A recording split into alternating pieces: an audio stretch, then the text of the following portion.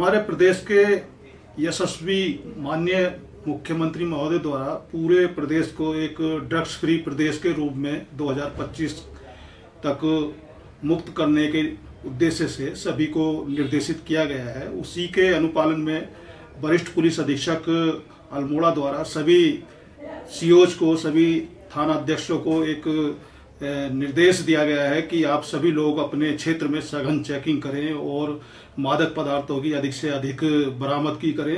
तो इसी के अनुपालन में कल कल चेकिंग अभियान चल रहा था और इसमें भतरोज खान पुलिस ने चेकिंग के दौरान एक एंबुलेंस को चेक किया। तो उसमें तो दो कुंटल 18 किलो के लगभग गांजा बरामद हुआ है।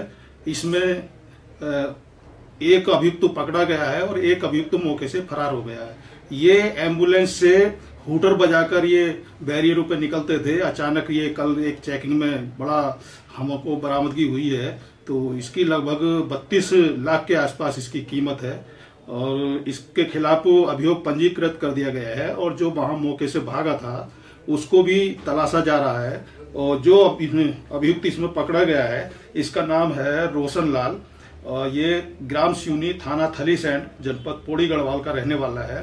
तो ये प्रथम दृष्टया पाया जा रहा है कि ये काफ़ी दिन से इसमें अवैध गांजे की तस्करी में लिप्त थे और ये अभियान हमारा आगे भी जारी रहेगा और जो इस तरह के कार्यों में लिप्त होंगे, उनके खिलाफ आवश्यक कार्रवाई कर उनको जेल भेजा जाएगा।